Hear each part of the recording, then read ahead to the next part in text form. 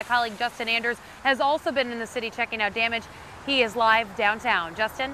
Yeah, Alexis, as you know, we've been tracking this storm for hours now. My photographer and I, we were driving around and noticed a lot of debris and uh, branches on roadways, and then we stumbled on this. Look at it. You can see this huge branch on the back of this home in South City. This is on Newport. These storms really rocked.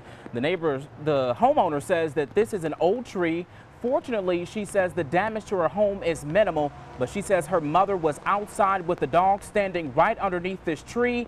It got windy. She came inside, and seconds after she made it in, the big branch came crashing down. Extremely lucky, yeah. If she'd have been out there, she probably wouldn't have made it back in, unfortunately. So, uh, I'm really lucky about that, yeah. Now, she says the other side of the tree actually fell onto the street the last time we had storms.